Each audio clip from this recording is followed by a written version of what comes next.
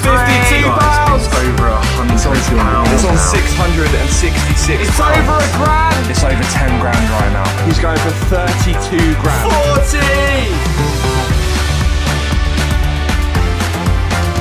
40! Welcome back to the house, Simon. Actually, wait a minute. You were downstairs for seven days, weren't you?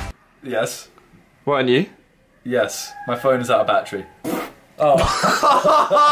oh, that's staying in. All right, you don't know how the auction's gone, right? I've got some good news and some bad news. If it's above $20, I'm happy, because that's what the other person went for. You should be incredibly happy because today, on Simon's eBay auction, you went for £64,700. What?